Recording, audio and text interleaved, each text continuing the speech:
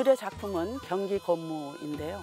건무는 천개와 지계의 신령함 있는 인간과 하늘 땅을 연결해주는 매개체 역할을 하였던 것입니다.